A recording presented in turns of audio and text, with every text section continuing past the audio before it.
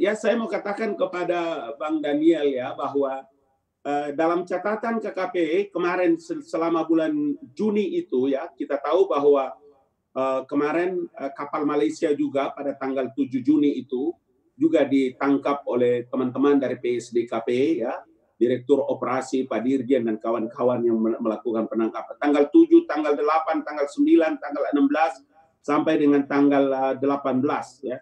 Itu ada kapal-kapal nelayan dari Malaysia, dari Filipina, dari Vietnam, dari beberapa negara-negara bagian yang ada. Saya mau bilang juga bahwa eh, kita juga jangan eh, apa namanya harus mendapatkan informasi yang baik dan benar bahwa menangkap mereka juga ada anggaran pendapatan belanja negara yang harus dikeluarkan oleh negara. Menenggelamkan kapal juga bukan menenggelamkan kosong-kosong, bukan cuma-cuma. Karena kapal itu ditenggelamkan juga dengan biaya anggaran pendapatan belanja negara yang cukup besar. Kapal itu ditangkap, kapal itu masih bisa difungsikan, kapal itu masih bisa dipakai. Kenapa tidak dipakai untuk penelitian? Kenapa tidak dipakai untuk sekolah-sekolah perikanan? Jadi kebijakan-kebijakan ini dilakukan oleh Menteri Edi Prabowo itu tidak ada lain kecuali mendatangkan manfaat. Jadi semua. Yang dilakukan oleh Pak Edi Prabowo ini adalah mengevaluasi, termasuk di antaranya hmm. adalah pertanyaan Bung Daniel terkait dengan penenggelaman kapal. Ini adalah satu tindakan mubazir yang sudah selesai pada periode lalu. Ya, Baik. maka dievaluasi kembali oleh Pak Menteri Edi Prabowo.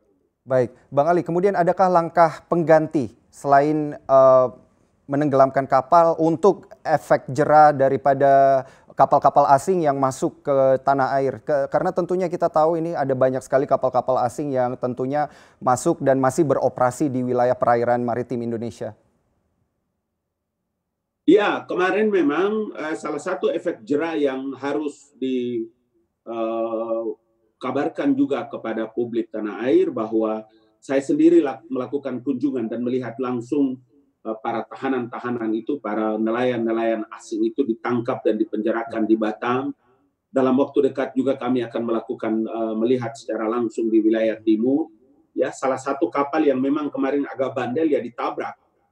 Ya, kemudian uh, regulasinya sedang dipersiapkan juga bahwa nelayan kapal-kapal kita ya kapal-kapal PSDKP juga saat ini sedang dipersiapkan dengan hmm. dipersenjatai ya jadi kapal-kapal yang masih bagus kemudian yang paling baik sebagai efek jerah mereka harus ditahan dan dipenjarakan di uh, tempat-tempat PSDKP di mana-mana yang ada dipersiapkan. Jadi saya mau hmm. bilang bahwa menenggelamkan kapal-kapal asing pencurian ikan itu bukan salah satu jalan yang pada hmm. periode kedua ini menjadi periode eh, satu keputusan yang terbaik. Tetapi itu yang saya sebutkan dengan evaluasi-evaluasi yang dilakukan oleh Menteri Edi Prabowo dalam rangka memberikan efek jerat terhadap penangkapan para nelayan-nelayan asing itu.